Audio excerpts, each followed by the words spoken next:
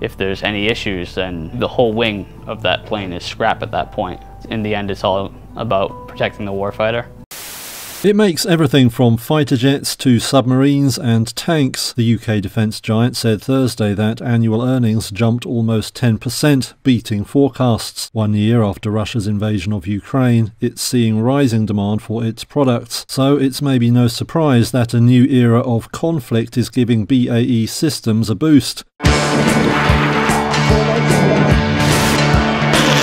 Thank you.